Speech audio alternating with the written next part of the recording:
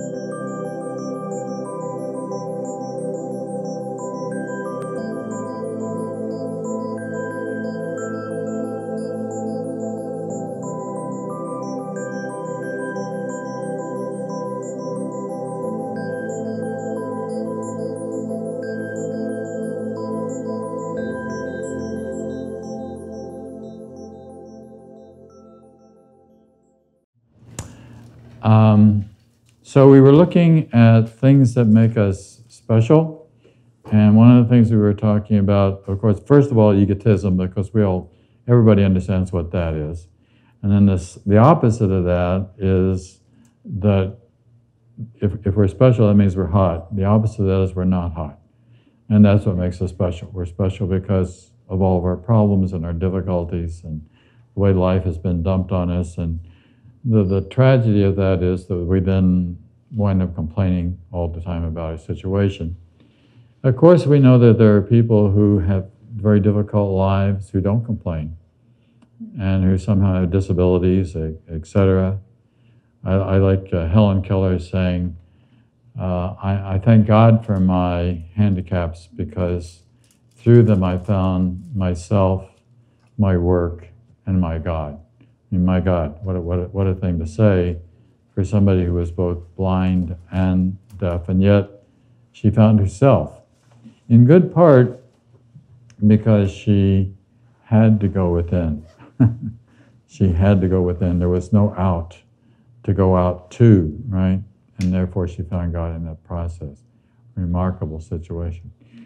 As I was coming into the city today, I was listening to a section in the Course in Miracles, chapter three, on the difference between perception and knowledge. And perception is the thing which keeps us very outwardly involved in the world because we're evaluating everything that we see. Knowledge, which is of heaven, is a total another dimension which doesn't even involve perception. It just it's a, a, what the Course calls about a kind of pure knowing. That's the way you know God. You know God in a pure way, and that doesn't require any kind of stimulation or, or anything from the outside. So that means that, that God is inside everyone, and everyone can awaken to that knowledge regardless of uh, external circumstances. So we'll do a few more slides. It's quarter after now, so we'll go to four o'clock. So um, we're special because of our opinions. That's another way that we make ourselves uh, special. And comparison is an ego ploy. Comparison must be an ego device, for love makes none. So love would see everything the same right? There's nothing to compare. The moment you compare, you've got judgment involved good, bad, pretty, ugly, nice, not nice, whatever it is that we're, and it's the judgment that becomes the problem. So the Course is very clear that there's no, there's no judgment in heaven. There's no such thing as judgment in heaven. There couldn't be because there's nothing to judge between. I think it's difficult for us to understand, but still, the Course is very clear that's the state that we're looking for. So, love makes no comparisons. According to the Course, we destroy our motivation for learning by thinking we already know. So, these are some uh, uh, quotes about uh, differences and opinions. Uh, does difference make a difference? So, this is François-René de Chateaubriand who is considered one of the founders of Romanticism in French uh, literature, said, You are not special just because you see the world in an odious light. you know, sometimes it's really easy to, you, will meet folks that just see the world in an odious light, and that's what they want to talk about more than anything. The aim of our curriculum, unlike the goal of the world's learning, is the recognition that judgment in the usual sense is impossible. Totally non judgment, right? This is not an opinion, uh, but a fact. In order to judge anything rightly, one would have to be fully aware of an inconceivable wide range of things past, present, and to come. Right? Therefore, you, you, you don't even have all the information to, to judge. I think about what happened with uh, this week with uh, Anthony Bourdain and killing himself and also Casey. We have no idea. I mean, we don't really know. I mean, we, we know what the surface answers to that are, but those are surface answers. They don't answer the deeper questions. We can't really judge. And it's not our place to judge, even. Okay? So, no one can judge on partial evidence that's not judgment, it's merely an opinion based on ignorance and doubt. So, if you wish to make a judgment about anyone, here's a simple one that's always true. Uh, this is a beloved child of God. This is my brother whom I love. Nothing more or less than that. That is true for every human being. This is a child of God just like I am and worthy of my love. And this one comes from uh, Voltaire who says opinion has caused more trouble on this little earth than plagues and earthquakes. That's really true, right? Um, you probably know he was famous for his advocacy of freedom of uh, religion, speech, and the separation of state. Right? And I like this one from this is from George Christopher Lichtenberg, who was a German scientist. Says nothing is more conducive to peace of mind than not having an opinion? and do you know the difference between a crow and a raven? I do that. right. The crow has an opinion? Well, the difference, all right, the difference is that uh, crows have these four long feathers that come off the tip end of their wings, and they're called pinions. And ravens, rather than having four, have five. So it's just a matter of opinion.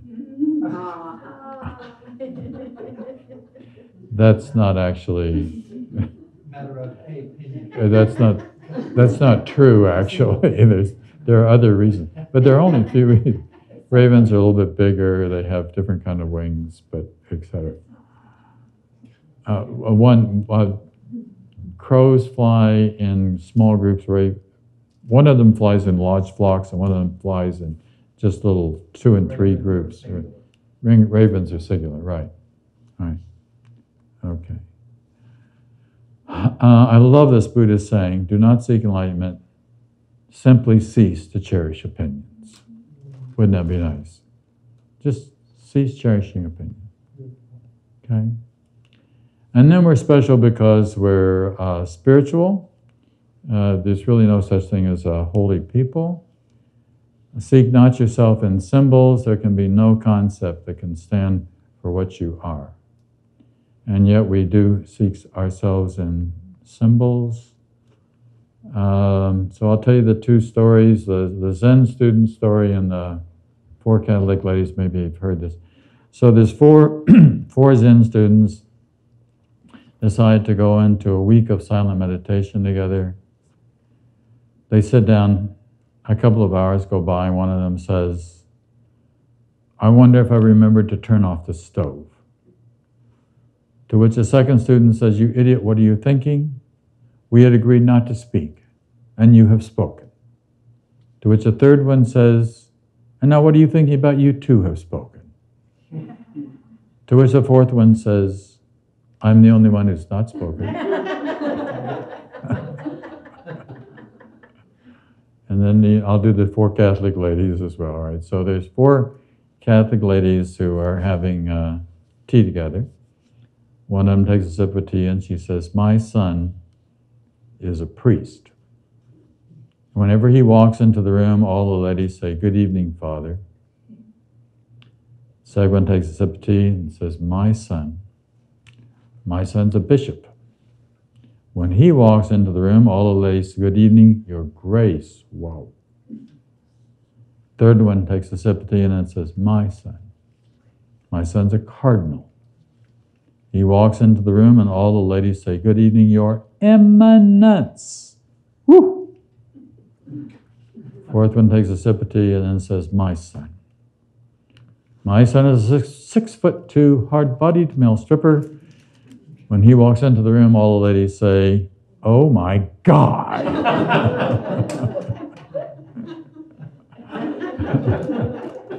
That's what I get a lot. I bet you do, yeah, yeah. I can see why that would be true.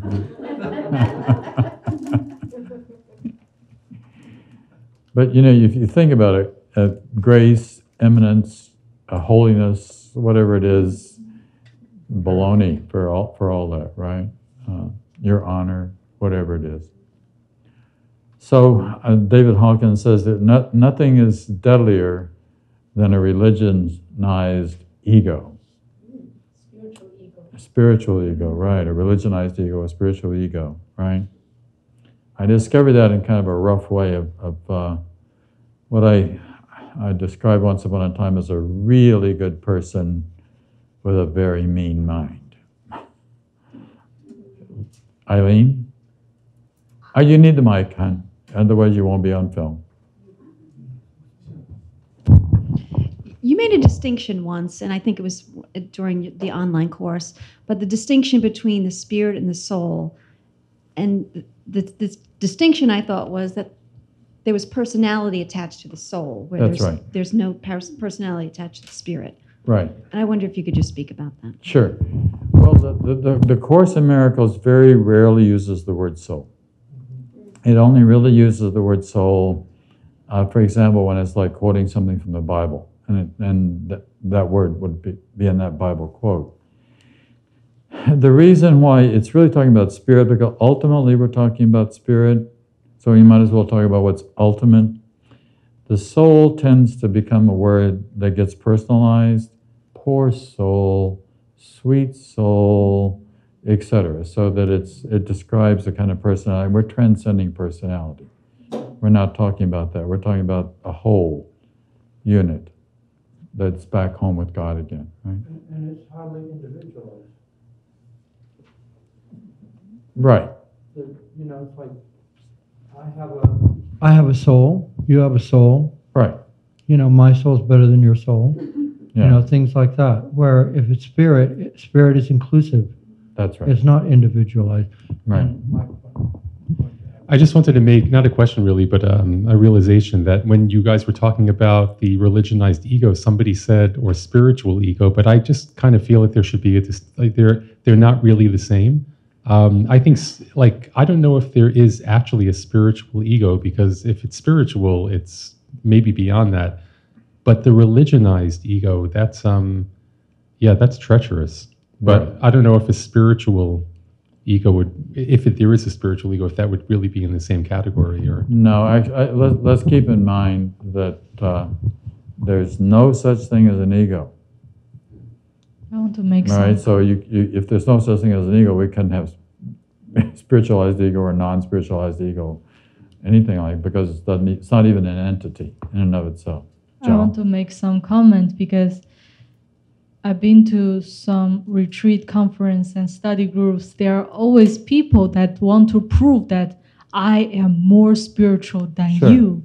And those people are not those people who never read the course. They may have been studying the course for decades and they can recite the book. But trying to prove I am more spiritual than you or this person is more spiritual, it's kind of spiritual ego in my eyes. And it's pretty common. Oh, I see what you mean, yeah. That's just an, an ego that, that's caught on to being spiritual. Are they spiritualists or are they still religionists at that point? You know, like it's just kind of a strange distinction. What I think is that um, the ego, well, let's say it, is- the ego is pretend is taking over the That's- spirituality. Exactly, They're saying, no, no, no, this is me. This isn't, you know, this Right. is me. It's right, who I am. I'm spiritual. got it. Yeah. I once knew, uh, I had a, a, a minister friend years ago who wore a very big brass cross around his neck all the time. And on the front of his car, it, in big brass, it said clergy. You know, so it was like uh, that would be a spiritualized ego in that sense, right? An ego that was collapsed onto a position in, in the world. And the clerical collars, too.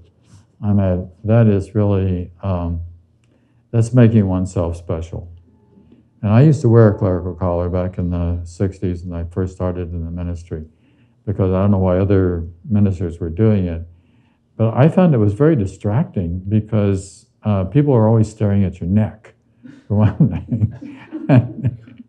I remember getting on a subway once in Brooklyn, and this, everybody just sort of backed up. You know, like let the young priest in, you know, and would you like a seat? And an old lady wants to give me her seat.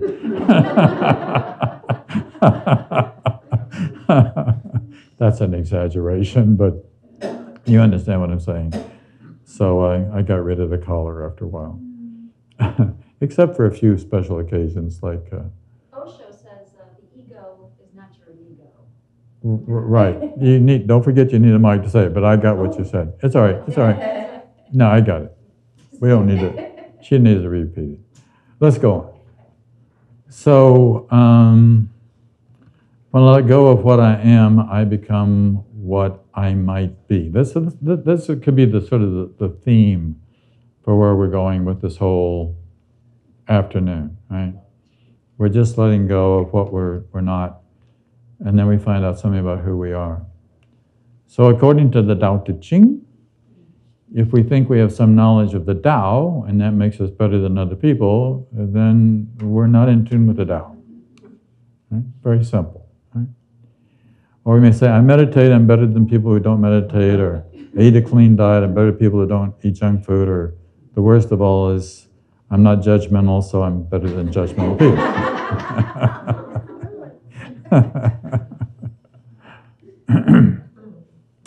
so um, here we are up to you went to a talk on transcendentalism this morning or something didn't you say?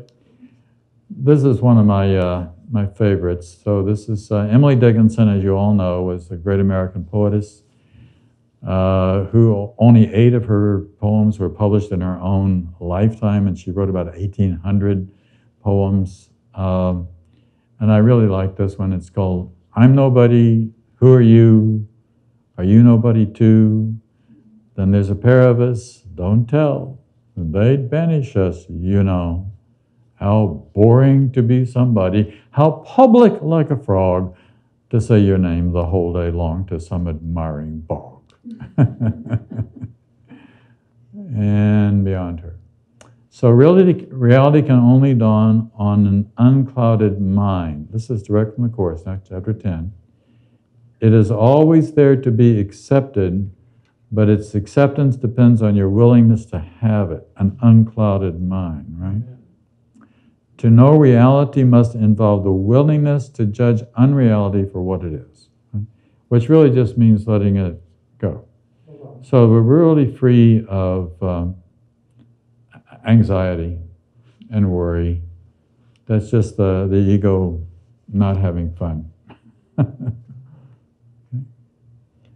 so to overlook nothingness is merely to judge it correctly and because of your ability to evaluate it truly to let it go. Knowledge cannot dawn on a mind full of illusions because truth and illusions are irreconcilable. Truth is whole and cannot be known by part of the mind. So it's the this is back to our theme of the whole mind again, an awakening to the whole mind. Uh, this is uh, St. John of the Cross, uh, picture on the, the right. Meister Eckhart. It's interesting when you read the mystics, they often use words like desert and barren to describe their experience of illumination. Joe, that's kind of what you're talking about too, I think, and in the sense that just that you got to get to this empty place. And once you get to the empty place, there's something there, but you got to get to the empty place first. Or this is um, Spanish mystic, St. Teresa of Avila, spoke of the still wilderness or the lonely desert. Those sound like of the deity. It's the, you know, when Jesus goes off to go through his 40 days and 40 nights. It's in the wilderness where he's totally alone. I mean, there's nothing, there's nothing there. There's no stimulus from the outside, right? And then finally, at the bottom, let me remember that myself is nothing and myself is all. That's St. Uh, John of the Cross. Who was, in case you don't know, just a little historical information, uh, was the student of St. Teresa of Avila. So, St. Teresa, you can see her dates. She's 1515 to 1582, and he's 1542 to 1591. So he studied with her, right? She was the, the superior, so to speak, in this case, and certainly in terms of age. But they had tremendous, they were companions and uh, tremendous influence on him. He went through a lot. So did she, but uh, he did in particular. Saint Teresa is not Mother Teresa? Yeah. Well, no, not the Mother Teresa. No, no, no. This is this is the medieval. We're talking about 1500s here, the 16th century. Oh, of course. Yeah. Look at the dates. It's important. Okay. and this has got to be one of my favorite quotes. Uh, this comes from Angelus Silesius, uh, who was a German priest, poet, uh, physician. And he says, God, whose love is everywhere, can't come to visit unless you're not there. We are so there. We are so into our heads, we're so into thinking and analyzing, evaluating, that there's so much going on. You gotta, if you can't get to this empty place, then you can't become receptive. I, I have said several times when I've given talks in different churches that I, I think this quote should be on a wall in a church somewhere. It's that good. God, whose love is everywhere, can't come to visit unless you're not there. A funny thing happened. I was I gave a talk in Montrose, uh, Colorado, several years ago, and I said that during my talk. I said, I want to see this on a wall in a church somewhere someday. And then we went to lunch and we came back, and the guy who does the audio visual stuff had it on the wall in the church. it was just projected, it wasn't really there. okay? So the self, this is from the Course, the self you made is not the Son of God, therefore, this self does not exist at all. We're talking about the ego now. And anything that seems to do, think or do means nothing. It is neither bad nor good. It's unreal. And nothing more than that. How simple can you get, right? And here we have a, our transcendentalist. Uh, this is uh, Henry David Thoreau when he was asked by his friend Harrison Blake if he didn't get lonely out by Walden Pond. He responded, No, I'm nothing. How are you going to get lonely, right? if you can get to this kind of mind. It's just accepting mind, the whole mind. If the whole mind is there, you're not thinking about other people, etc. You're just appreciating what is. Thoreau said that he could spend a, a half a day just sitting in his doorway, looking, and just looking, and absorbing. You're kind of taking it all And If you read Walden, there's a place in Walden Pond where he, um, it's just Walden, three page description of ice. just what he sees in ice. I mean, this was a man who was capable of seeing at great depth. Right? And this is one of my favorite quotes. This is from obviously Ralph Waldo Emerson, who was uh, his, in a way, his teacher. Um, I say in a way his teacher. He was 17 years older.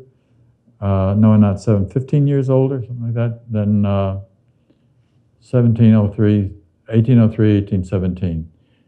Um, but it's interesting that Thoreau put into practice many of the principles that Emerson was talking about. I mean, he had a way of living them out. Uh, I'll talk more about that in a minute. But this is my, so here the, here's this quote. this is almost a perfect description of a mystical experience in, I think it's four sentences, and that's it. Standing on the bare ground, my head bathed in the blithe air, and uplifted into infinite space, all mean egotism vanishes. I become a transparent eyeball. I am nothing. I see all. The currents of universal being circulate through me. I am part and parcel of God. So, how does Emerson get to be part and parcel of God? I am nothing. I see all. First, you got to get to I am nothing. You get to I am nothing, and then you can see all. But in the meantime, the mind is clouded. Remember with the quote, from the Course a moment ago? Uh, you come to an unclouded mind. Right? And then, um, this is the quote I was talking about from uh, Aldous Huxley. Our task is not to be thinking, our task is to be thought. Right? Or the way he actually said it was if you could get out of your not self's light, you could be illumined. If you could stop anxiously cogitoing, you could give yourself a chance to be cogitoed. in other words, if you could stop anxiously thinking, you could give yourself a chance to be thought. And that's actually what the Course is talking about when it talks about the difference between perception and knowledge. Knowledge is just pure, it's just pure awareness. It's, it's, I think it's hard to talk about it because it's, it, it transcends words. But there's a kind of knowing that does transcend words. We just know. It's like knowing that you're in love. You know, you're in love or you're not in love. And if you are, then you know it. So it's a pure experience which defies language. But nevertheless, there it is. It's a knowing. Right? And I love this quote from Wei Wu Wei, uh, whose real name was Terence Gray, by the way. Uh, he says, Why are you unhappy? Because 99.9% of everything you think and everything you say and everything you do is about yourself, and there isn't one.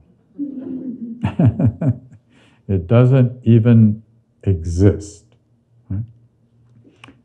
In case you don't know who Wei Wu Wei is, I'll just tell you, this is a very interesting little story. So, this fellow on the bottom right there, Wei Wu Wei, well, his real name, as I said, was Terence Gray. He was an English gentleman. He owned an estate in England. He was a producer of theater in London. He produced something like 100 plays in the course of his life, right? Uh, also in charge of the, opera. He was really a, a well known theater producer in London. And, when, and he also ra- raised uh, racehorses. In fact, as he had a one, Zarathustra was the name of the horse, who won the Ascot Gold Cup in, I want to say 1958, I think it was. And then after that, he disappeared. I mean, he just totally disappeared. And people didn't know what happened. But he turned out he, he went to India and he lived with Ramana Maharshi during that time. And um, he took on this pseudonym. Wei Wu Wei is uh, Chinese, it, it means a non meddlesome action, right? Non, or, or action without action, or non meddlesome action. We got a Chinese lady in the front row, so It means doing nothing. doing nothing. Um, the Take, give, take the mic. It means the actively being in the state of doing nothing. Right, Yeah, yeah, act, but it's also not an act. It's a like a Right. that's why non meddlesome action or action without action. Okay, very good. So that's that became his, and then he started writing all these books, and the books became very, very popular, uh, and nobody knew who he was until toward the end of his life. Uh, he let it out that he was the he was really Terence Gray. Sort of a nice thing. Uh, He, he lived just he and his wife someplace I forgot in France or something during the latter years of his life.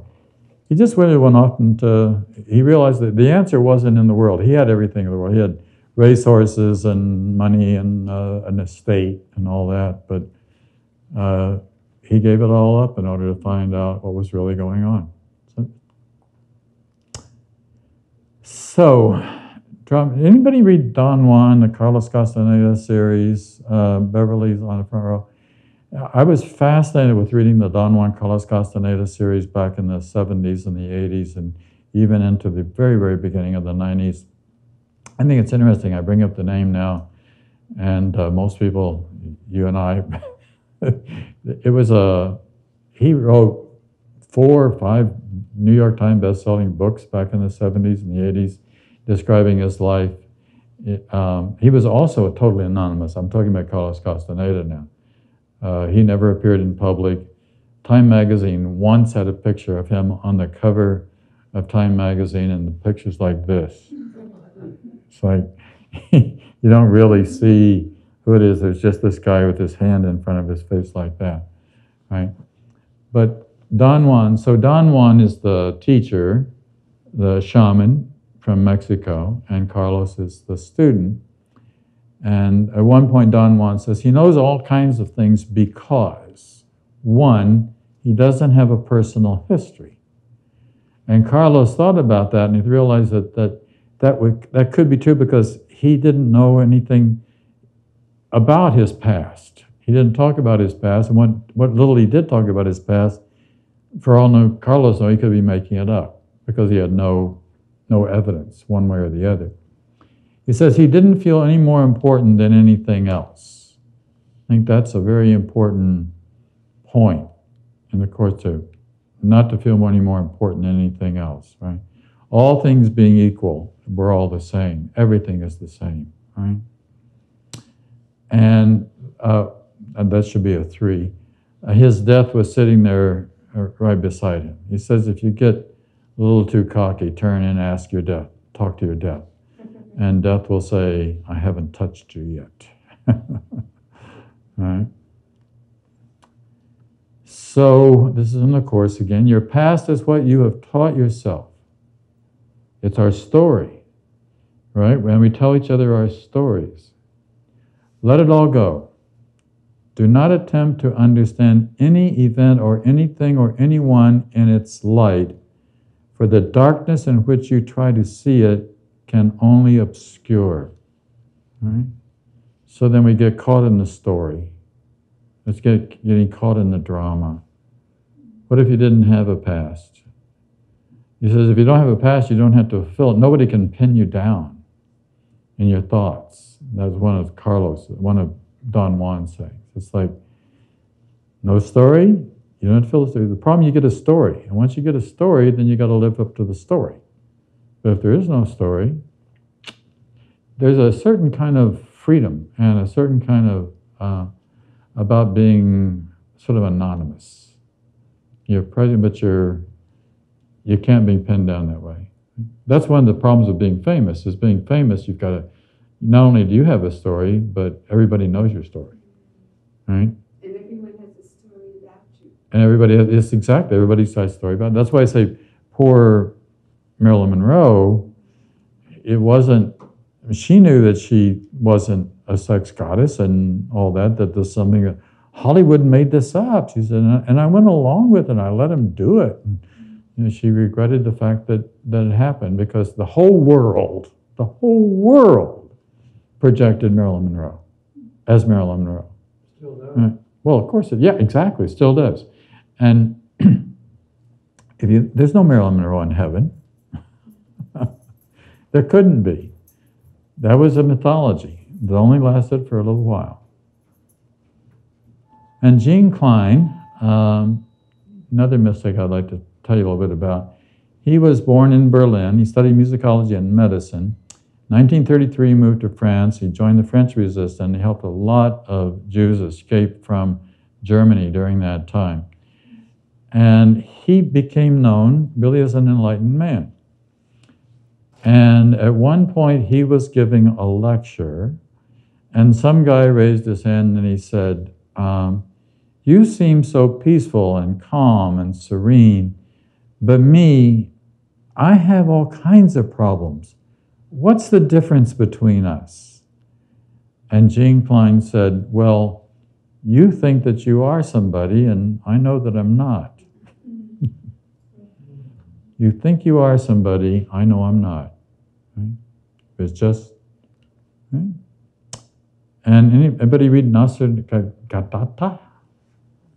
Uh, non-dualist philosophy, and this is one of my favorite books. I'm reading right now. He says, I ask you only to stop imagining that you were born, have parents, are a body. See, what, what's a major emphasis in the Course? You are not a body. That is, that's a very strong emphasis on in the Course. You're, def, you're not a body. And will die and so on. Just try, make a beginning. It's not as hard as you think. what we're doing here is we're just emptying out the complete emptying out of everything that we think that we are. And it's only by doing that that you get to find out who you really are, which is none of the stuff. That's what happened with Zhao that death experience, that enlightening experience that she had. Is that a small No. Okay. okay. Yeah, it's a uh, yeah. And here's two contemporary teachers who are teaching the same thing. Uh, some of you may know H. Uh, Almaas. He says, I learn a great deal of what I truly am when I'm not trapped in the particulars of personal life and history. I am then the unchanging background witnessing. I'm just the unchanging background, just witnessing. We're talking about witnessing as well. Just it's just being aware, just being aware without the drama. And of course, uh, Gangaji uh, saying, I am not bound by the story of me. Right? So, we're going to spend the rest of our time, uh, our 15 minutes or whatever we got here, talking about awakening to the one mind. So, now what we've done, we started off in the very beginning saying that the whole thing is to remove all the blocks to the awareness of love's presence. The process is one of purification, cleansing up, getting rid of everything. We get down to that, then we can become awakened. Seeing with Him, the Holy Spirit, will show you that all meaning, including yours, comes not from double vision. Double vision is the agatha mind. It's the split mind. That's what double vision means but from the gentle fusing of everything into one meaning, one emotion, and one purpose. As long as you've got the split going on, Steve and I were talking about during the break. The Course talks about at one point what it calls the attraction of God and the attraction of guilt. And the attraction of God is, for the mystics, it's all pulling us home, pulling us back to God again. And the attraction of guilt is pulling us down, pulling us into the body and into addictions and into thinking that something else is and guilt is known is the fact guilt is heavy duty because then then you got to deal there's no guilt in heaven that would be impossible there's no there's no sin because there's no separation oops this is a two page quote so that's why the arrow is there the world you see is based on sacrifice of oneness. it is a picture of complete disunity and total lack of joining. Around each entity is built a wall so seemingly solid that it looks as if what is inside can never reach without, and what is out can never reach and join with what is locked away within the wall. Each part must sacrifice the other part to keep itself complete. For if they were if they joined, each one would lose their own identity, and by their separation are their selves maintained. So this is the way the ego thinks that I again one of my favorite quotes in the course, divine abstraction, which is another name for, for God, takes joy in sharing. It's the sharing that matters. It's the joining that matters. It's the relationship, and especially the, the one that's in love. It's not in, in antagonism, but it's it's really joining. So thinks the ego. Uh, while you think that part of you is separate, the concept of oneness joined as one is meaningless. Ultimately, there's just the oneness joined. It's your one, your oneness joining with the oneness. Right? There's just one ocean. You're maybe a drip in the ocean, but there's just one ocean. Oneness is simply the idea God is, and in His being, He encompasses all things. No mind holds anything but Him. We say God is, and then we cease to speak. For in that knowledge, words are meaningless. That's all we need, is just God is. So, it is your will to be in heaven where you are complete and quiet in such sure and loving relationships that any limit is impossible. Would you not exchange your little relationship for this? For the body is, this is the relationship we're talking about here, little and limited, and though only those who you would see without the limits the ego would impose on them can offer you the gift of freedom. I think we're about out of slides. Let me just see. Um, okay, a couple more. When the body ceases to attract you, and when you place no value on it as a means of getting anything, then there will be no interference in communication, and your thoughts will be as free as God's. Talking about all the body stuff that you were talking about earlier, Brad, that uh, you see advertised in the, internet, the internet and everything. In the holy instant, there are no bodies, and you experience only the attraction of God. Right? The, the two poles, but there's only the attraction of God. You are the works of God, and His work is wholly lovable and wholly loving. This is how a man must think of himself in his heart, because this is what he is. Very close to the end. A mind and a body cannot both exist. That's a very interesting line, right? Make no attempt to reconcile the two, for one denies the other can be real. Ultimately, all there is is mine. And let me underline the word ultimately. And it's, the proof of that fact is nobody lasts. Everybody disappears. And everybody disappears pretty quickly. Even if it's 80 or 90 years, it's out, out, brief candle.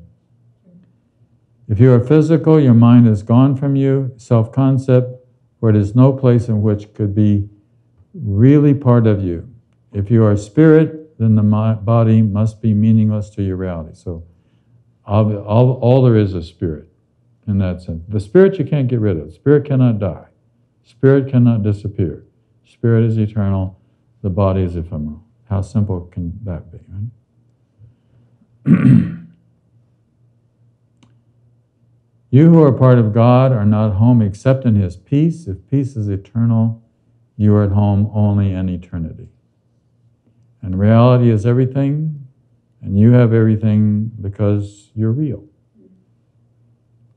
I think I've, okay. Two more to go, I think. We cannot join with God or the Holy Spirit because we are already one with Him. That's interesting, right? What is required is just the recognition of what is, all, what is already true. From our dear friend Ken. All right? You can't join with it because you are it. All you can do is remove what's not real. And then when you remove what's not real, what's real is, is always been there. That's it. Uh, one of the ways that we uh, often close, let me go back on this for a second, is that I do a little meditation and then we, uh, we will share in that prayer together. And I know you want me to move back into the light. Oh, boy.